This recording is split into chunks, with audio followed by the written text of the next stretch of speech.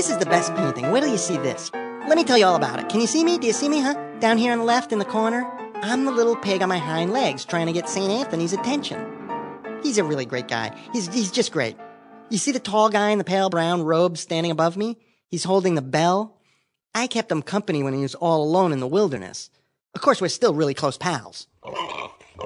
Just because I'm little doesn't mean I don't have something to say. I notice all kinds of things that other people miss, don't you? Just for instance, take a look at how the artist painted the fur on my back. Go on, take a look. Get a real close look at that. Can you believe that?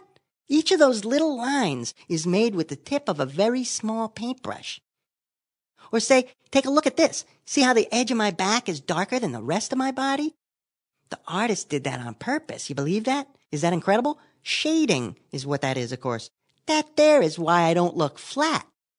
Doesn't my stomach look round to you? Now check out the faces on those people.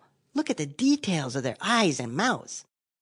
Can you see how the strands of their hair curls on their heads or on their beards? The artist knew how to use a paintbrush, all right. That's a big deal. And how do you like that bright red color on the background? Could be the sky with all those gold stars, or maybe it's inside, some kind of fancy wallpaper. What do you think?